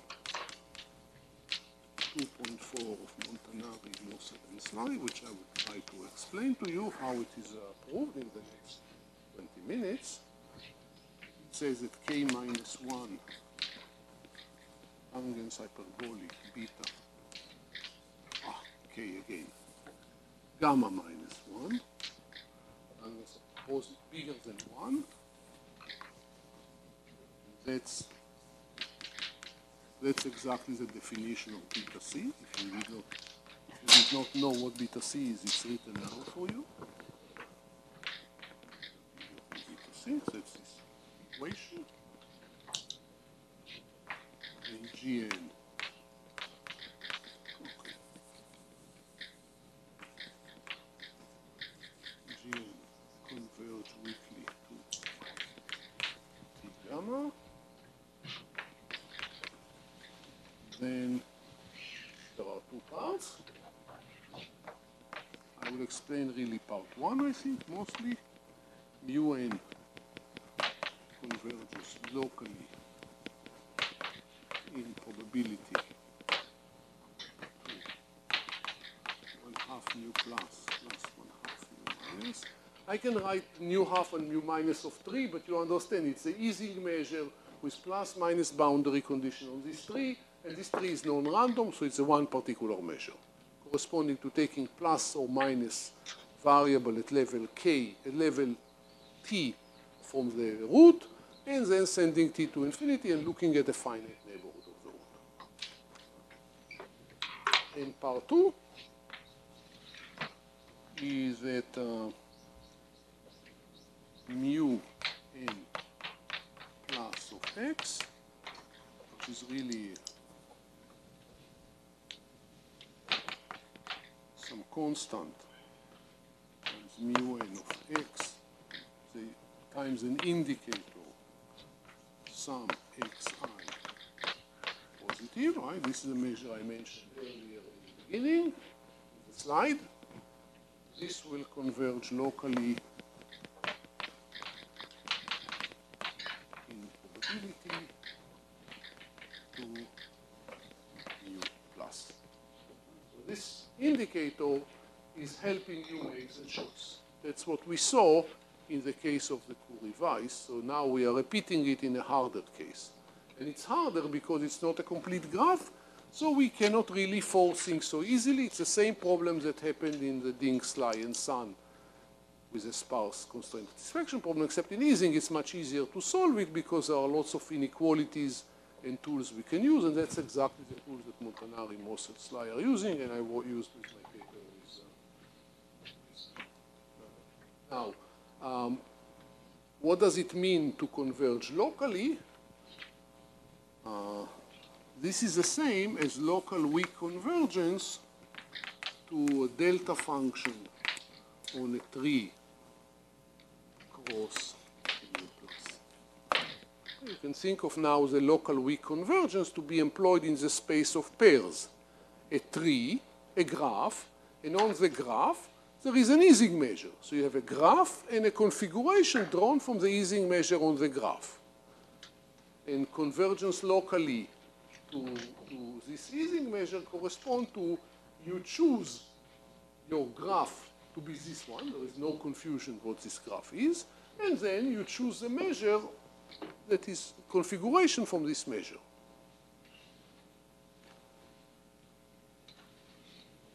That's what I mean by converge locally. It does not mean that the measure, the whole converge, but means if you choose a point at random and look at the ball around it and see how the ball looks and how the Ising measure on the ball looks in the graph, when n goes to infinity, the whole thing will converge to choosing local neighborhood according to this tree and choosing the Ising measure with a t plus want mu t gamma plus as a way to choose your distribution of the signs. The local weak convergence theory applies in, for general spaces. What I did, I told you, is about graphs. But this is about gra decorated graphs. These are graphs with plus minus configuration on them. And you can find it in uh, uh, Aldous and Lyons survey paper. They abstractize the whole thing and do it on much bigger spaces. So there is no problem defining it here. Okay, now this requires an extra condition, as I mentioned already uh, in my uh, in my this. This is if, in addition, Gn are half. Lambda. Edge. Expander. Now I need to define to you what this means. So let me write here gamma lambda, uh, theta lambda edge expansion, where theta equal to one half. So what is an edge expansion? An edge expander, this means the following. Fix a subset of n which has a good enough size. The size of the subset uh, is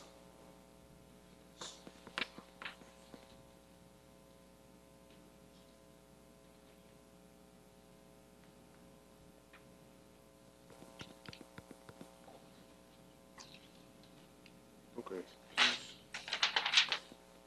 smaller than this okay then I, then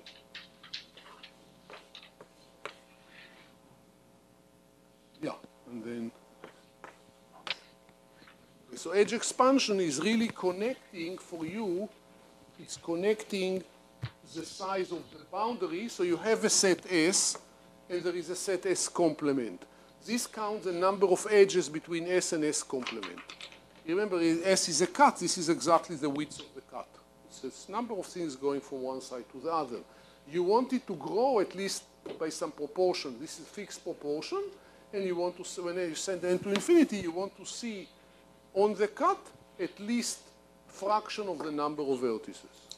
Now, why do we limit to a number theta which is less than 1? Because obviously if you make S to be everything, then here there will be nothing and this will be not possible. So you cannot require a 1n. But here they require all the way up to half n cut, right?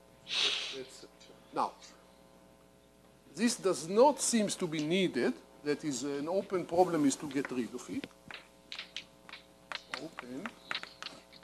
Question is to relax this. But something is necessary in the sense that um, in the sense that um, that the result is simply false without any condition, and I will show you very quickly in one minute why you need some condition, because I will construct you a counterexample. If you take graphs that converge to a tree without putting any restriction on the on the how well connected they are. A counterexample coming again from this paper of Montanari, Mossel, and Sly is take a graph Gn that looks like this. Has some pieces. One, two.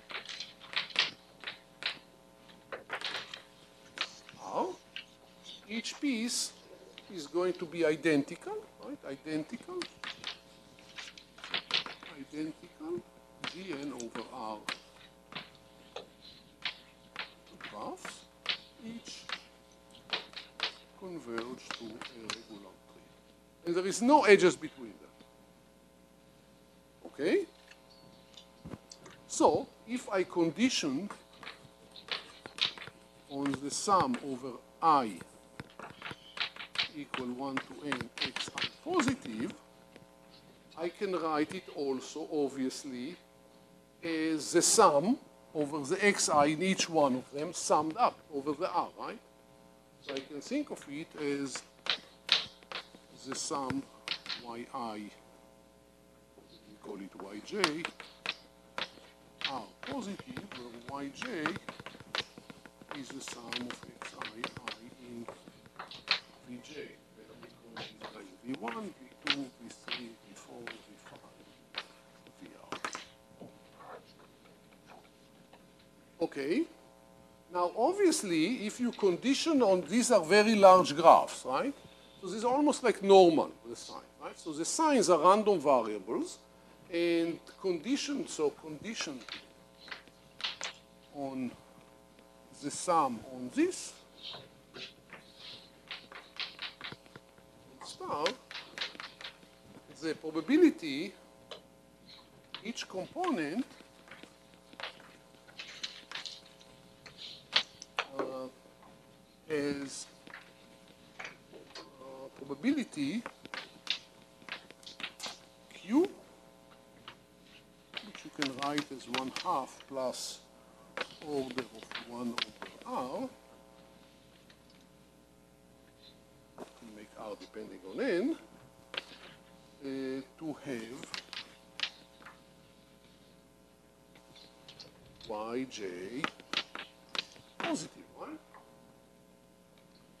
So what will happen if you look at mu n plus, at mu n plus, right? If you look at this measure that I mentioned in the segment, Okay, so you choose your center. It will be in one of these places. And then you will either go to the plus if the y was positive, or you will go to the minus if the y will be negative. So this will go to q, um, q delta nu plus. plus 1 minus q delta nu minus, and this is not the same as nu plus or minus, because in this regime, nu plus is not the same as nu minus. So obviously you need something.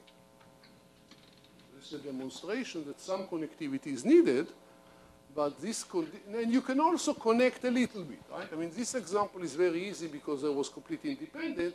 I can put a few edges here and still work harder and get it. But it is clear that this is taking the com complete extreme point of view of asking for a huge amount of connectivity. The truth is somewhere between that and not assuming anything. And it's interesting to understand what it is because this is an extra condition that is not reflected in the tree limit. You can ask here really is how much connectivity does one need in order to stay with a kind of like the complete graph story. You need some, but probably not. So if anybody wants to try, you, you, can, uh, you can try it.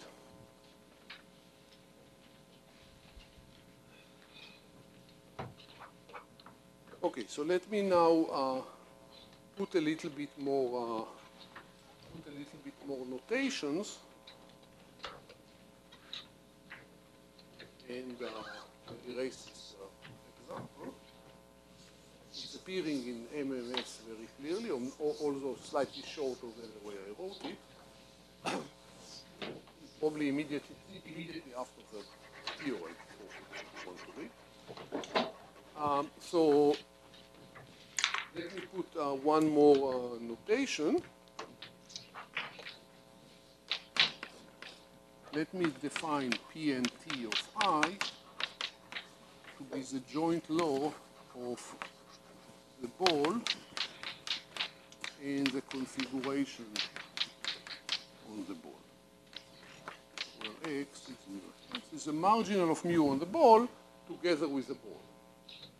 And this is a on this is a probability measure on G bar star.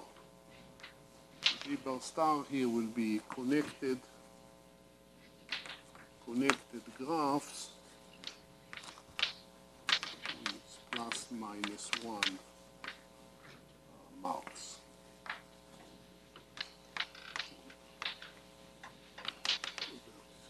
So that's the object we are looking at. We are looking at choosing a, a, a ball and choosing a configuration. And we will say that mu n converge locally weak converges to a measure n, a probability measure on G bar star, if the law of P uh, P in T. So we fix a P, we fix an N, we choose I uniformly random, converge weakly as probability measure in this space to M to the T, which is a projection of M to TT for. So that's exactly the analog of our local weak convergence, but from space of graphs to space of probabilities on graph to probability of mark graph, which allows us to keep the Ising. So the MMS strategy proof is to do it in two steps. Step number one is prove uh, weaker convergence of the average.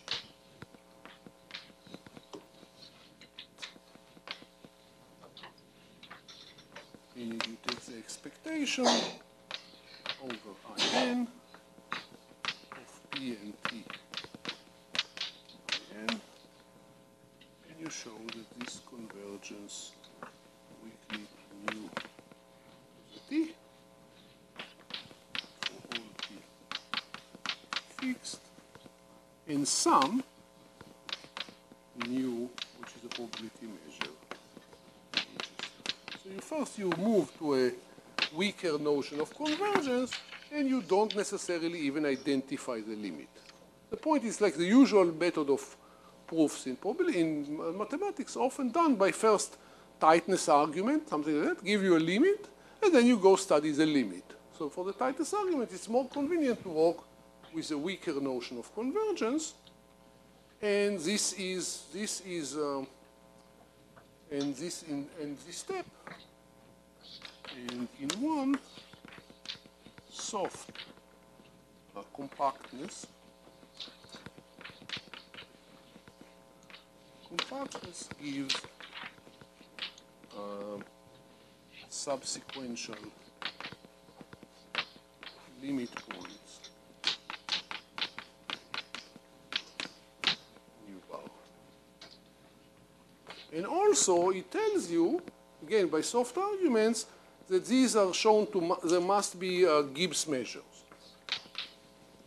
These are shown to be Gibbs measures. This is slightly non-trivial. This is trivial in the general, in the regular case, slightly non-trivial when you work with nu n plus due to the conditioning.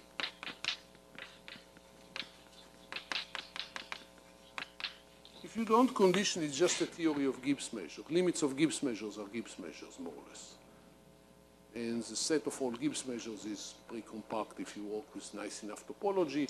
And this topology was deliberately chosen to be nice enough. That's why you work with a fixed. Here the trees, the graph or the tree or whoever has a, you have control on the degrees. So the number of possible objects you may find here is finite. So it's really a very easy kind of compactness argument. In the conditioning case, there is slight problem, but the problem is not too bad because the event on which we condition, we can show, slightly Uslam work, does not go to zero. If you condition on event of positive probability, which do not diminish, usually they cannot ruin any compactness argument that you had before the condition. Now, of course, this leaves us with a hard problem, and the hard problem and the key is step two, uh, sorry. There is also step two, which is not too bad. Step two, you get local weak convergence by using, uh, by utilizing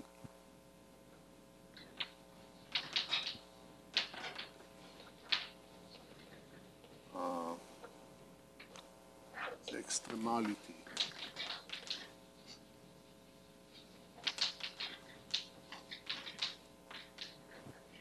plus, but in between uh, step one and step two sits a question why nu bar is equal to nu plus. So in between sits a key step which is identify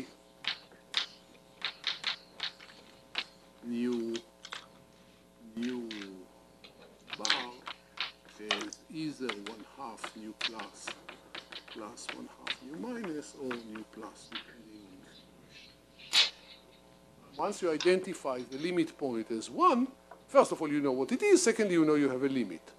Now the nu plus is an extremal measure, it's kind of the largest in some sense, and therefore you can use it in order to argue that although your convergence was on average, there is no way to get a mixture anymore. Right? This was an, there is an average here over the centering point, so in principle you might end up with something which is not what you expect when you remove the, the, average, because maybe this is an average of the originals, but if what you got is extremal, there is no way for this to happen. So the whole uh, key to the proof is to, to prove that the limit is what you want the limit to be. Everything else is uh, kind of soft in general.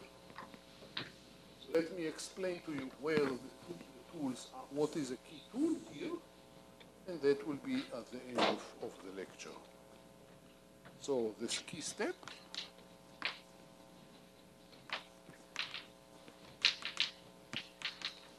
is to show A, when A is really the key, mu bar is 1 minus q mu plus plus q mu minus some q. Right? So you reduce the set of all possible Gibbs measure, which is infinite, into a linear collection, a straight line with one free parameter. In part B, q equal to half or q equal to 0. This is in the nu n plus, and this is in the nu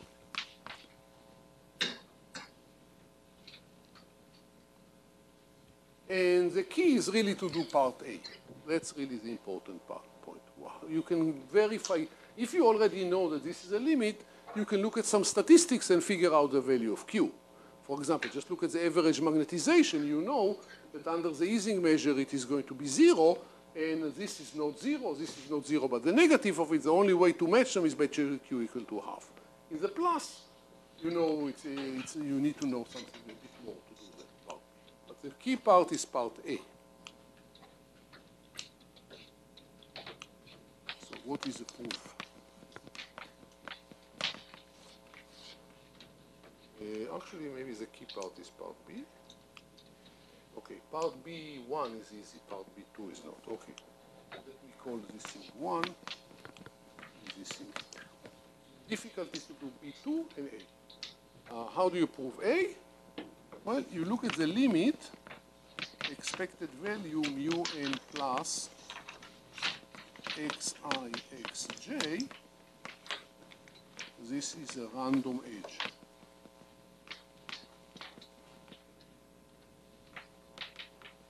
So what you do, you choose an i, which is in, random, uniformly.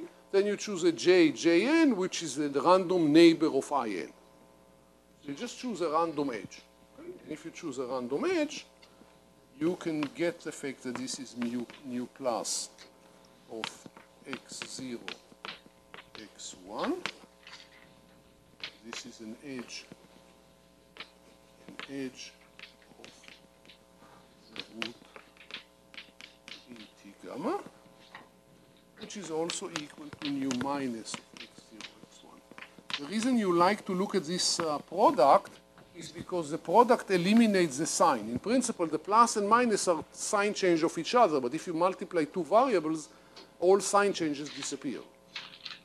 And this was done already in my paper with Andrea, or in any other paper which deal with the convergence of phi n to phi beta, it was done by calculus, if you remember this from lecture three, this convergence was done by calculating derivatives. And I said you can either differentiate in B or you can differentiate in beta. When you differentiate in B, you get the magnetization, which is not helpful here, but when you differentiate in beta, you get exactly the correlation. So in particular, you, this part of the proof was really to prove this. That, that was a derivative. And then you integrate it. So you know this already. And, um, and why are you done? Because now you check that for every measure nu, any possible measure nu on, uh, on graphs on, on any measure nu of plus minus 1 where the graph is a regular tree, the nu bar of x0 x root x1 is less equal to the value you just got. So this value not only is the limit, but it's also maximal. The maximal possible value. And further, which is even more important, it is strictly less unless unless uh, nu bar is equal to whatever it is, what I wrote there.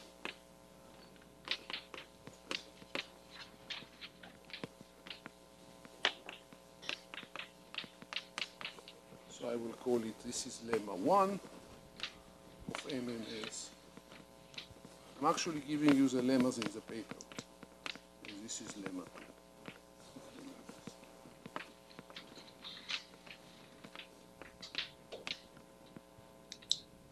But lemma 1 is very easy. It's coming from, I mentioned, it's coming from this. So lemma 1, I put a... Uh, sorry. Convergence is easy. Lemma 1 is this inequality, and lemma 2 is a strict inequality, which actually is a trickier part. Now, part B, the proof of B, as I mentioned in case 1, by symmetry, and in case 2, you need to use the expansion.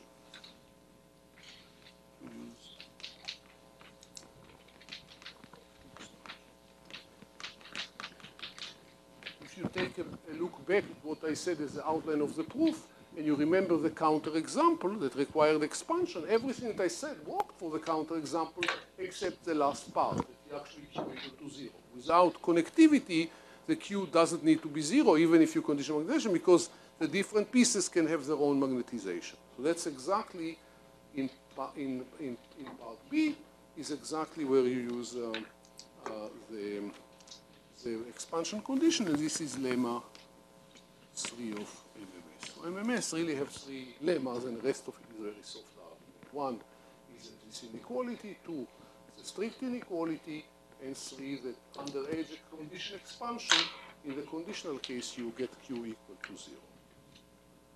And uh,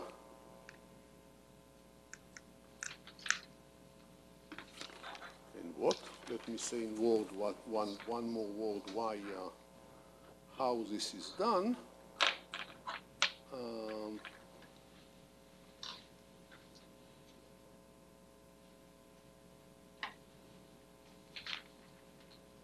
okay, so the point is that both in lemma 2, lemma 2 in MMS is really a simple calculation because if you work on a regular graph, then you know what is nu plus and nu minus. You have an explicit formula for this measure. You have explicit formula for what the boundary conditions are, which I mentioned. The BP equations are equations in finite dimension.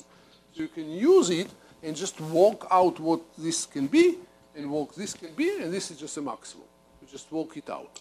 If you go to a general graph, you need a more sophisticated approach to this problem, and that really was a major difficulty in this paper with an, Nirban Basak, that we no longer can rely on the explicit calculation, so it was a lot of trouble to get this strict inequality, but we got it with a different argument, not computational. As for the lemma 3, the idea is somehow to use, use the expansion condition in order to get a proof by contradiction, and for this you needed to, to cleverly, lemma 3, the idea was to cleverly, cleverly introduce statistics.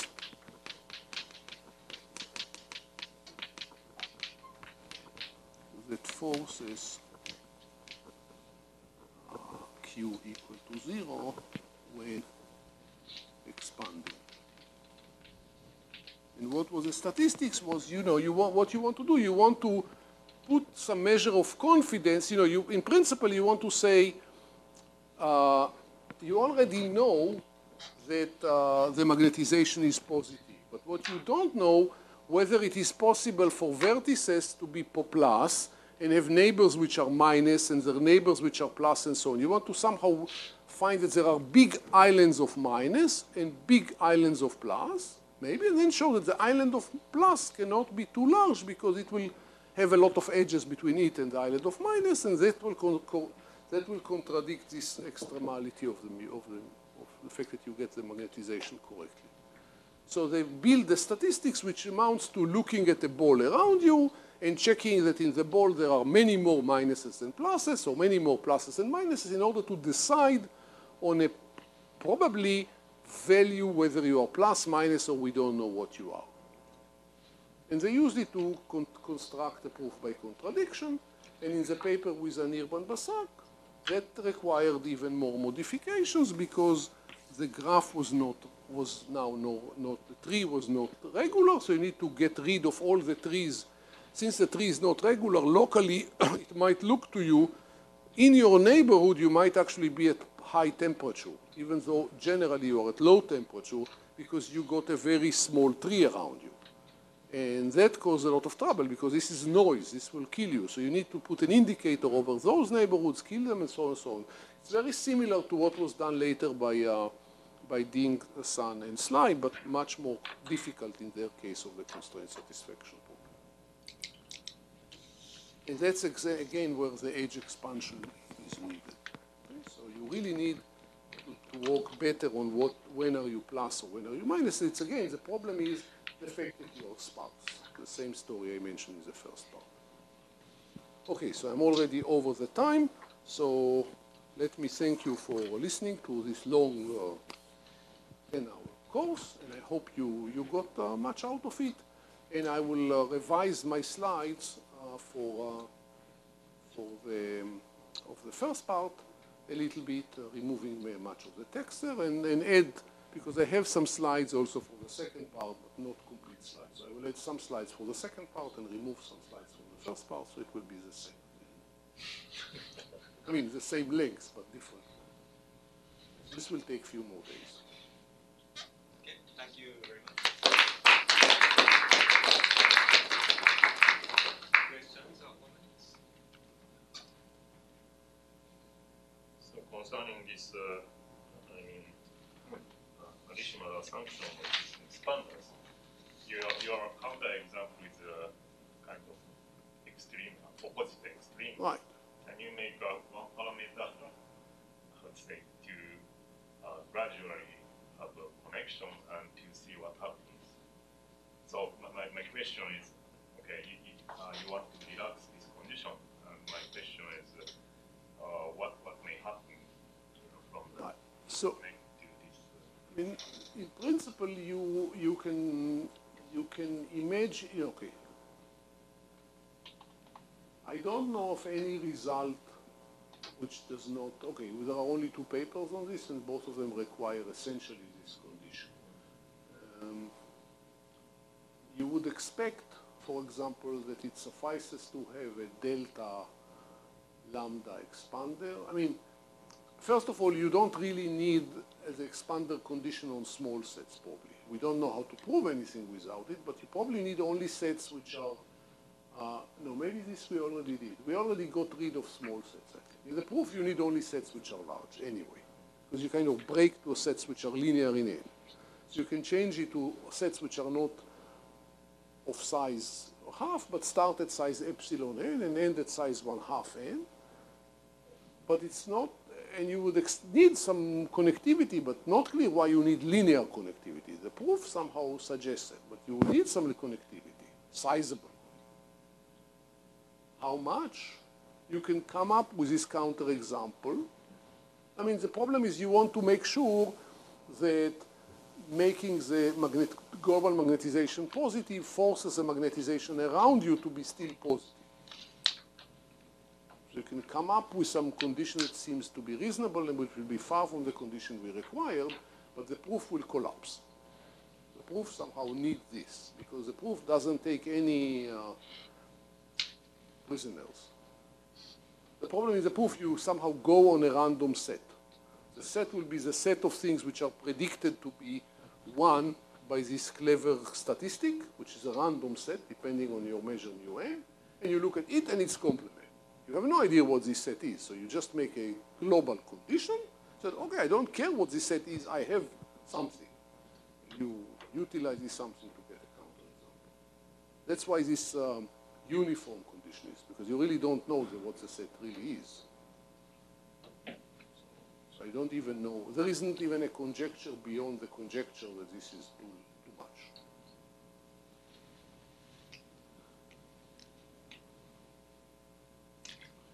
Another thing which is not known is what happened for Potts models. Even Potts on regular graph, if you remember from lecture three, for Potts on regular graph, there was this area of non-uniqueness for which we couldn't really work using this. So we don't even have this part, not to mention all these other things. So even Potts on regular graph, we found the limit We found this, by, but did it while avoiding doing this, cal- this calculation, or essentially not being able to do this calculation. There was an area where, outside this area, it's the same result as I mentioned here. There is this little triangle where there is non-uniqueness. Outside, this is working, you will go to the limit because there is a unique limit. But inside, we don't even have this. I mean, so you can get, obviously, the first part, the, the weak part. You know that the measures are extremal, so you know the beginning, you know the end, but in the middle, the whole proof disappears on you because you don't even know how to prove this.